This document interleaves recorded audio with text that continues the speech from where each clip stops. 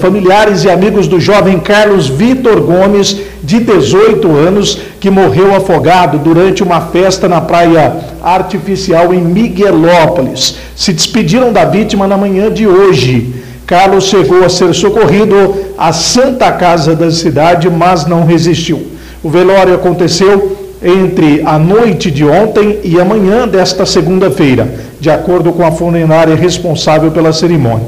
Na sequência, o corpo da vítima foi enterrado no cemitério municipal de Miguelópolis. Nas redes sociais, onde Carlos trabalhava, eh, muitos amigos, familiares também lamentaram.